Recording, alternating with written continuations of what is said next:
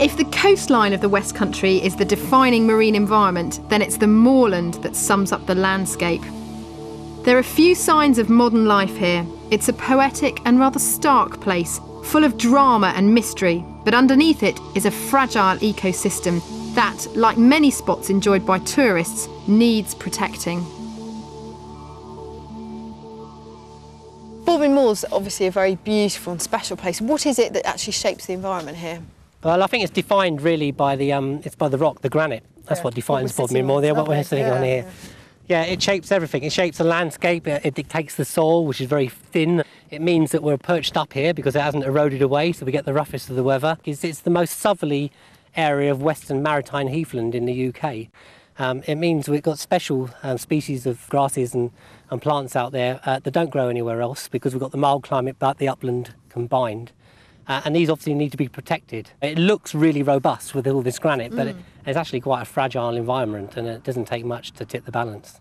Dominic farms Penquite, an organic farm that's designed to let visitors understand what it's all about. And next to the farm's campsite is a solar powered shower block. Okay, so this is our um, campsite shower block. Uh, we built it as a That Dominic is rather proud of. Uh, it's all made of wood. We harvest all the rainwater off the, the hay barn and this roof. And there are a couple of solar panels on the roof that heat up the rainwater. This is all this recycled plastic, isn't yeah, it? they're lined with recycled plastic made from bottle tops and, and yogurt pots. Okay.